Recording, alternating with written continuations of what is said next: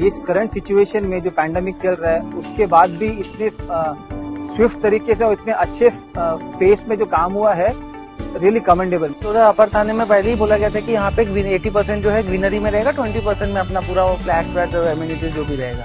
तो जैसा हम लोगों ने एक्सपेक्ट किया था उस हिसाब से ही मिला है हमको घर। देखने के बाद घर देख के तो बहुत अच्छा लगा क्योंकि मेरे घर का व्यू काफ़ी अच्छा है। तो व्यू वॉज़ रियली गुड जैसे कमिटमेंट दिया था लोधा ने अंदर के इंटीरियर के लिए। वो सारे टॉप क्लास यूज़ किए उन्होंने। बाथरूम में जैसे कि जैगवार हिताची का एसी है कलेक्शन वगैरह सेफ्टी का भी ध्यान रखा गया मतलब ये सारा चीज़ उन्होंने जो बोला कमिटमेंट किया था, वो सारा वहाँ पे अवेलेबल था। रोड बंदर और माझीवाड़ा हाईवे से हम आए।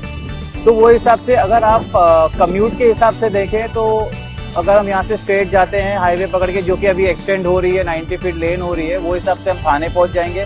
सेकेंडली ये जो दूसरा कनेक्टिविटी जो हम बना रहे हैं ये डोंबिवली वाला पैच ये बहुत ही बेटर है बिकॉज़ यहाँ से आपके पास फिर चॉइस होता है कि आप चाहे थाने जा सको चाहे जाना है थाने जाओ चाहे आप डोंबिवली जाना है डोंबिवली जाए। तो इट्स अ गुड ऑप्शन मतलब एज अ रेसिडेंट आपके पास चॉइस है। Upper Thane is really a wonderful world as name we are happy yes